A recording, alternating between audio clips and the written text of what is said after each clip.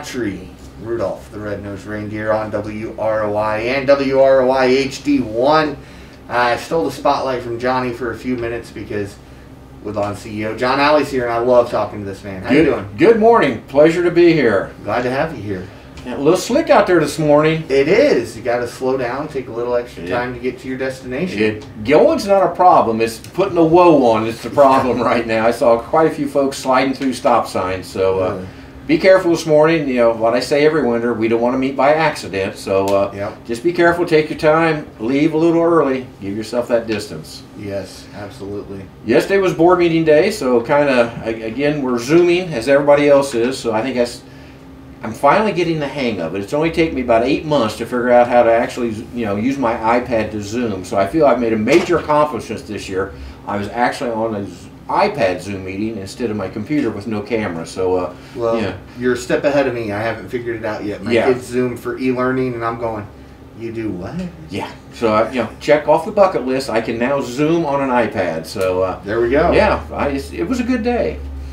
So not a lot covered in the board meeting. Again, we're kind of at that time of year where everything's winding down. We're finalizing what we've done for the year. So we're kind of looking at, you know, now kicking off some of the next year stuff. So uh, we did have uh, Krista Hayob, our Director of Inpatient Services, came in for a replacement of three beds. And that was kind of our kickoff meeting for a planned bed replacement program. So every few years you would like to cycle through your beds, but you know with 25 beds that gets real expensive. So we're going to do three, four, five a year, maybe late this year another four or five, just to get some of the new beds in the building. Uh, current beds are several years old, still very functional, but you know parts are starting to get hard to find for them. And some of the new beds have features on them that you know we're doing manually now that they can track for us. So you know, like anything else, technology is improving everything. Hospital beds is one of those things. So uh, that's kind of an ongoing process right now. So we did get approval to move with three new beds, and hopefully by the first year we'll have those in house and start using those. Awesome. One of the other things we looked at yesterday, you know, where we've done the uh, Da Vinci robot for general surgery and for um, OBGYN. So we've entered into, uh, hopefully entered into a partnership with Biomet Zimmer the first of the week to bring in an orthopedic robot. Uh, it's kind of new technology, not a lot of them out there yet, and I can't say enough about Biomet Zimmer. They've really helped us bring that into our facility and truly are a partner with us. And that's what it's going to take as we move through these healthcare you know, innovations and technology. You got to find somebody you can partner with. So, uh, you know, it's been a long journey to get to that partnership, but I think we're going to have it finalized probably special board meeting Friday morning, uh, Zoom meeting. And all the details came in too late for yesterday, so we'll have to have a special meeting on Friday. Board will, I think, will sign off on it and start moving forward. So, really looking forward to that. And basically, right now it'll be for knee surgery, so it. Uh, I'm not a surgeon, so you'll get the, the layman's view of how this thing works. Basically, it helps the surgeon get the optimal angle on the cut when they're doing the knee replacements. Right now, they got to have a person holds it, they eyeball it. Well, with this robot, that controls the leg. And they explained to me, no matter what happens with the, the leg, if there's movement at all, it keeps the cut in the same plane at all times. So if you want a 30 degree angle, you will always have that. And it's not a person holding the knee getting tired. The robot can hold it. So really excited about that. Uh, hopefully mid to late next year there'll be some add-ons to it. We might look at some hip surgeries that now we can do with it. So again, exciting news. Um, you know, 20 years ago, somebody told me we were going to be doing robot surgeries, I said, "Oh, you're crazy." But uh, we're getting there. So it really adds to the program we have now, and just expands that now into the orthopedic field. So really excited about getting that going, and uh, hopefully have everything signed by first of next week and move forward with that. A lot of questions I've been getting. What about the vaccine? Right now, uh, we're still waiting from the State Board of Health how they're going to roll it out to the public. It's been on the news, you know, they're rolling out to healthcare workers now and uh, nursing home employees and residents. We're hoping by the first year to have a little more information, what to talk about phase 1B and beyond, which where they've rolled out to the public. We were not selected at a 1A site just because we weren't big enough, to be quite honest.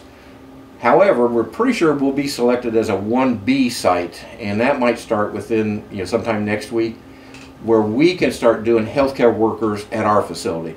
not the general public yet, but it's still healthcare workers, long-term uh, care employees, EMS, you know, emergency personnel. So that'd be nice. Right now, uh, all of our folks have to drive to Warsaw. That's our assigned site uh, to get the vaccine. That starts Friday for several of our workers. So more information to come once the state starts releasing this. Um, they're under the, you know, same thing. Federal government tells them, then they pass it on to us. So as you're working with two levels of government, information comes slow, but it is coming. So uh, hang in there, folks. Vaccine will be available in the area. I'm guessing mid-January, 1st of February to the general public. We should have enough supply in the state to start getting everybody vaccinated. And, you know, healthcare worker, I, I highly recommend it. Uh, you know, when you look at the side effects, they're minimal right now. But the benefit to the to you, to your family, your friends, and to the community is astronomical. If we can stop the spread of this, everybody we can get back to normal hopefully by mid-year whatever that new normal is going to be, but kind of get away so we don't have to wear these all the time. You get the vaccine, you still need to wear a mask. You still need to social distance until we start really seeing a massive decline in the number of new cases. Protect your, your fellow you know, workers, your family. Even though you got the vaccine, still wear your mask. So I know nobody wants to hear that, but it, it is uh, what it is for a while. But there's light at the end of that tunnel.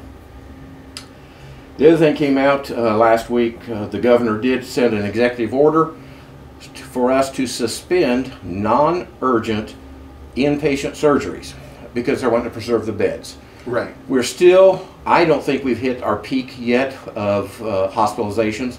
I think with the holidays coming, with Christmas and New Year's, third week of January is going to be horrendous. So we're trying to save those beds for, you know, if you are really sick, you know, some, some of these non-urgent surgeries requires maybe a two-day, three-day stay to help you get recuperated. So we are suspending those right now. The surgeons are making that decision. Is this something that has to be done? If it has to be done, it's going to be done. The governor's fine with that.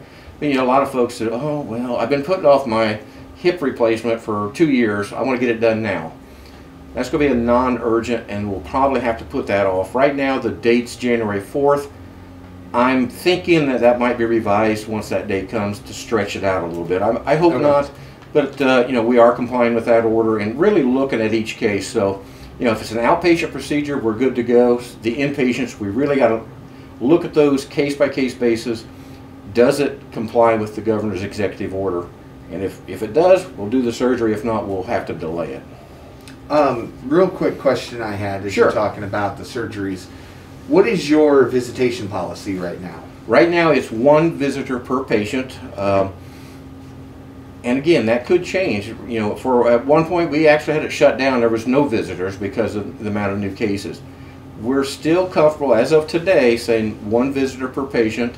Um, prefer that you know not happening because the less traffic we have in the building, we've got really sick people, compromised immune systems, don't bring stuff in, but we've got COVID patients in the building. You don't want to catch it. So our preference is you just stay out. Don't come in the building.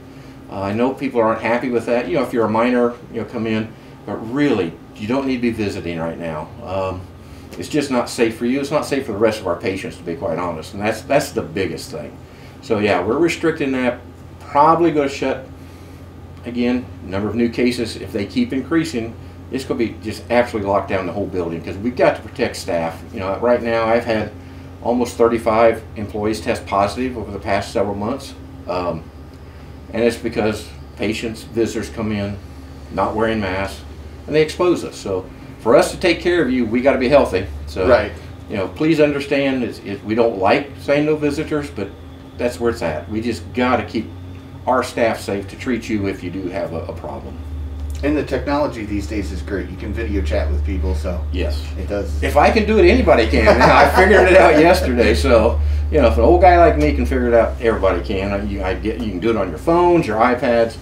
So we prefer just don't come in. You, you know, come in, see us if you have an appointment, if you you know are sick, but just to visit, please stay home. It's just not worth the risk to our patients and the staff. You know, it's it's hard finding staff right now, and you know when I've most of those who have tested positive have been my frontline workers, nurses, respiratory therapists. That's the ones I absolutely have to have in the building.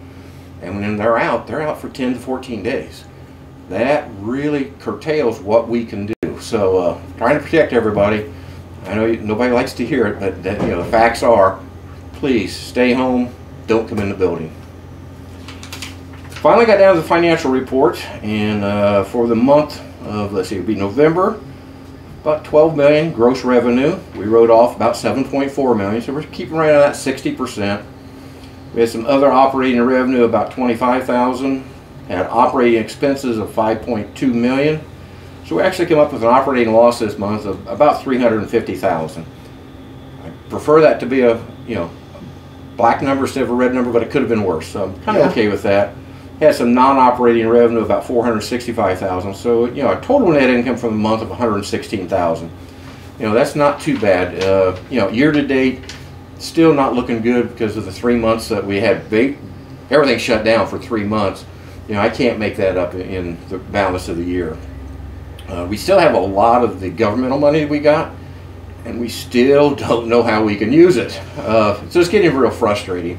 We'll get some final rules that, oh, you can use this, this, and this, and then the next day, no, wait a minute, we've changed our mind. So I'm fairly conservative. I don't want to get to the point where we've used the money, and then all of a sudden the government said, oh, by the way, you got to send it all back, put us in a hole. So we're monitoring that very closely.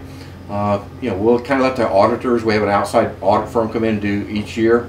Let them tell us how to report that, and what we need to do with it. That way, you know, we've got some other folks other than just us saying, save it or spend it. So, you know, try not to spend it unless we have to. Um, you know, those items that we can use it for, we will. Um, you know, vents, uh, ventilators have been the big thing, and, and back in, I think it was first of April, received just a small a blurb of an email. Hey, would you like, you know, get into the governmental program for surplus vents? And so I said, well, sure, let's do this. So everybody was kind of saying, Woodlawn Hospital, we're not going to get anything. We're in the middle of nowhere. Well, hopefully tomorrow we're receiving four brand new vents from the federal government. And the good part is they're identical to the two we just purchased. So that would bring us up to six state-of-the-art vents that I hope we never ever have to use. But if we do, we now have them available uh, at Woodlawn and we have people that can man them. So uh, feel real good that we was able to get those. And it was no cost. You know that those are part of the strategic stockpile that the federal government had. So it was just uh, took a while, uh, April to now, but Yeah. uh, we're scheduled to receive those tomorrow. So uh, Good. that was kind of a nice Christmas gift. We got the actual email notification on Thanksgiving that we'd been approved, and then uh, got the FedEx delivery notice yesterday that they'll be delivered tomorrow. So. Uh, Hey, that's even better. that's even better yet. So nice Christmas for everybody at the hospital. Yeah, absolutely. So that was pretty well the board meeting. So uh, looking forward now to kind of get through the holidays and relax a little bit. Hopefully next year is going to be a little better than what 2020 was. We can all hope, but of course, I keep seeing everybody joke on social media that uh, December 31st at 11:59:59, when it goes to turn over to the new year, it's just going to be a repeat. Well, I hope not. I though. hope not too. I, I think we're going to have a repeat for about the first three to five months, maybe, because it's going to take a while. You know, for Yeah. all this to get in, and you know the vaccines. You know, it's not not instantaneous. You can get the vaccine, your second dose. You're really not protected for about 30 days to 40 days post second dose. You have some minor uh, up front. That first dose will give you a little bit of immunity. Second dose takes it there, but it still takes 30 to 40 days for your body to prevent or uh, produce those antibodies to say, okay, here's this foreign thing in me, and they attack it. So, you know, you got to be be be patient, and, and light's coming, but it's probably going to be mid-year, I think, before we start seeing, you know, a lot of not needing the mask anymore, and, and kind of things opening back up again. Try to get back to somewhat of a normal life that uh, really we didn't have at all for for 2020. So, Yeah. 2021 there's got to be some hope out there. Hang in there, be patient, and be vigilant. Just wear your mask, protect yourself and, and your family and your coworkers. Sounds perfect. We'll end on that advice. Thank you All right. very much, Mr. Alley, for stopping by. Uh, we'll talk to you again uh, in 2021. Yes, we're, we're done for this year, aren't we? Yes, So, we are. We'll, we'll do this again in January. All right. Enjoy the holidays, sir. Same to you. Thank you. Thank you. Woodlawn